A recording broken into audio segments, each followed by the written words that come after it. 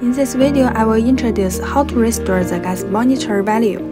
If the calibration value is inaccurate due to misoperation, you can restore settings first, and then back to zero calibration again.